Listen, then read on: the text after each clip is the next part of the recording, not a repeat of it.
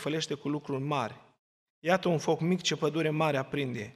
Limba este și ea un foc, este o lume de nelegiuiri, ea este aceea dintre mădularele noastre care întinează tot trupul și aprinde roata vieții când este aprinsă de focul ghenei.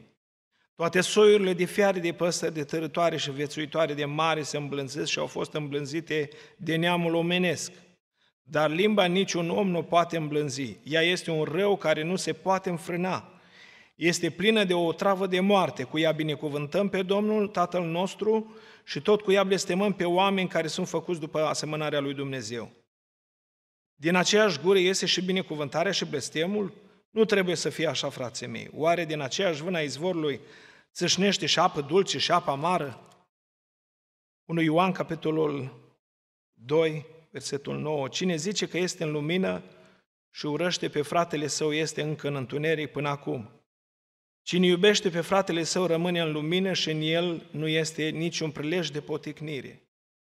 Dar cine urăște pe fratele său este în întuneric, umblă în întuneric și nu știe încotro merge, pentru că întunericul i-a orbit ochii. Capitolul 1 din 1 Ioan, dacă zicem, versetul 8, dacă zicem că nu avem păcat, ne înșelăm singuri și adevărul nu este în noi. Dacă ne mărturisim păcatele, El este credincios și drept ca să ne ierte păcatele și să ne curețe de orice nelegiuire. Dacă zicem că n-am păcătuit, îl facem mincinos și cuvântul lui nu este în noi.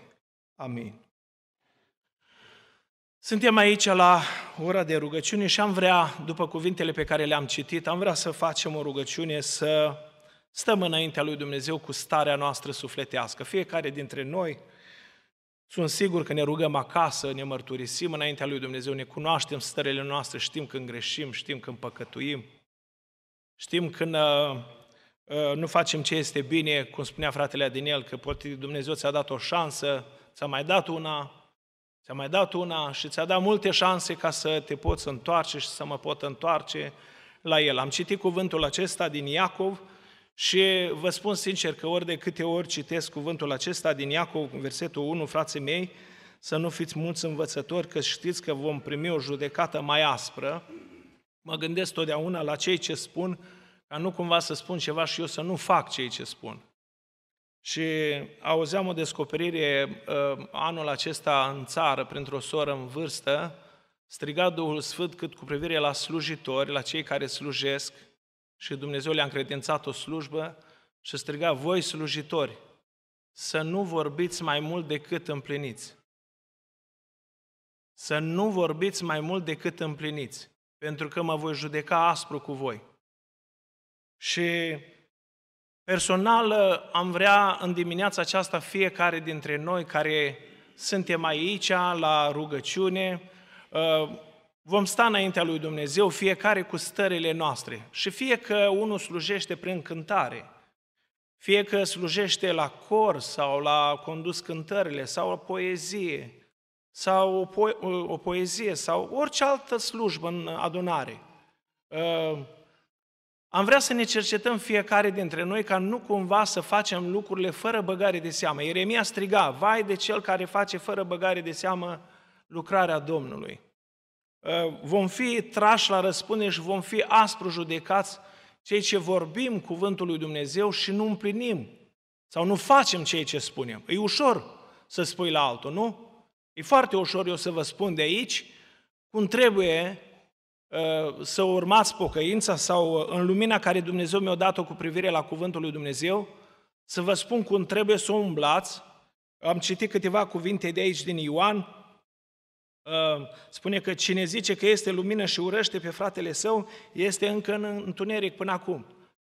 Uh, alt cuvânt spune că nu l-a văzut, nici nu l-a cunoscut pe Dumnezeu, dacă continuăm să păcătuim din felul acesta. Noi știm că aici toată pocăința noastră se axează pe dragostea frățească. La asta ne-a chemat Domnul Isus și ultimele cuvinte ale Domnului Isus care le-a rostit către ucenici către apostoli, înainte de înălțare, le-a dat porunca aceasta. Să vă iubiți unii pe alții. Prin asta vor cunoaște oamenii că sunt de. Că eu am o divergență unul cu altul, dar continui să-mi fac datoria de copil al lui Dumnezeu, continui să mă rog cu El, continui să slujesc cu El, continui să-L iubesc. nu să-l ocolesc. Deci noi trebuie să dăm dovadă în toate lucrurile de o dragoste frățească, dar fără viclenie și fără fățărnicie.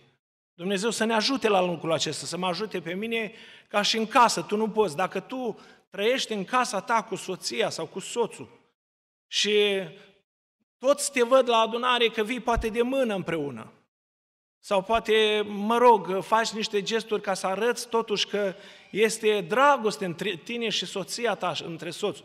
Dar acasă unul doarme într-un pat și altul într-un alt pat și numai copiii știu acasă ce este. Domnul să ne păzească de lucrul acesta. Tot așa suntem la adunare, frații noștri, să nu fim cu viclenie. Toate lucrurile se vor da pe față într-o zi. Problema e că dacă se dă pe față și am șansă de mântuire, mai e cum mai e. Dar voi rămânea și vei rămânea pe de alături dacă eu nu-mi pun viața în rânduială. Suntem aici și datoria noastră e nu să, când venim aici, ne îndemnăm, ne sfătuim și ne îndemnăm la fapte bune, cum să trăim și cum să-L urmăm pe Domnul Isus. Că uitați-vă dumneavoastră că de la o zi la alta tot se împuținează poporul lui Dumnezeu, cei care îl caută pe Domnul Isus, cei care le mai place de Domnul, cei care încă mai susțin cuvântul lui Dumnezeu. Puțin, de la o zi la alta tot se pierde, parcă se pierde și spune, mai lasă că, așa cum spune Petru, de când au adormit părinții noștri, toți se spune că vine Domnul, vine Domnul și Domnul n-a mai venit. Domnul vine, fraților, are un timp al, al lui. Ă, așa le-a predicat și noi la cei oameni din vremea lui, 120 de ani, tot le-a predicat și a zis, mă, oameni buni, vine într-o zi, vine într-o zi potopul, vine apă, vine și ne va nimici pe toți dacă nu ne pocăim, dacă nu ne întoarcem. Și au râs toți de el. Au râs tot de el. Probabil cum râde și de unii dintre noi în ziua de astăzi când le vorbim despre Domnul. Sau dacă avem unele principii mai, mai după Scriptură și căutăm să trăim uh, conform cuvântului Dumnezeu, uh, râd de noi, ne bați jocoresc și spune, lasă-mă că din ăștia am mai văzut noi care s-au dat cu capul. Eu cred că cei ce ne întărește și ne-a întărit până aici este Domnul Isus și Duhul Sfânt care Domnul a pus în noi. Noi nu trebuie să ne uităm la oameni. Asta a fost gândul meu de dimineață, de când am venit. Noi nu trebuie să ne uităm la oameni cum trăiesc oamenii, cum trăiesc slujitorii, frații păstori, poate frații proroci sau evangeliști sau... Nu la asta ne-a trimis Domnul Isus. Ca ai un punct de reper că îți place de un frate, îți place de un frate, de o soră, cum trăiește decent și caută pe Domnul, asta e altă problemă. Dar noi suntem chemați privirile noastre să le, îndemnăm, să le îndreptăm la Domnul Isus, la căpetenia de săvârșire noastră care este Domnul Isus Hristos. La El suntem chemați să ne îndreptăm privirile și să nu ne uităm la oameni. Oamenii s-ar putea să-și șchiupăteze. Oamenii s-ar putea, ă, mâine, poi mâine, s-ar putea să facă gesturi care ă, să ne doare inima de gesturile lor.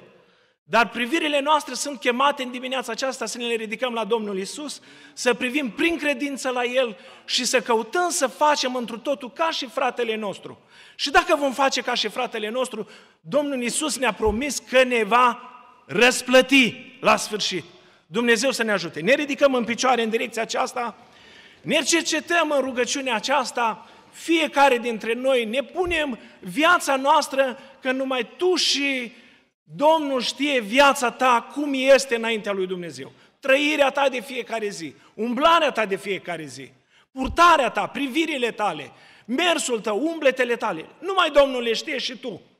Și de aceea, fiindcă Domnul este bun și drept, spune că noi nu avem un mare preot care să n-aibă milă de slăbiciunile noastre. Suntem aici în dimineața aceasta. Și rugăm pe marele nostru preot să aibă milă de noi. Dar să fim sinceri, fraților. Sincer, de mâine, de astăzi, de după rugăciunea aceasta, să ne schimbăm viața noastră. Nu să avem un mod de viață, venim la adunare, ă, ne rugăm, cerem îndurarea Domnului, Domnul ne iartă, e bun, se îndură de noi, dar eu continui de mâine cu stările mele. Dumnezeu să ne păzească de lucrurile acestea. Ne întoarcem, ne plecăm capetele și ne rugăm înaintea Domnului. Doamne ajută-ne! Amin.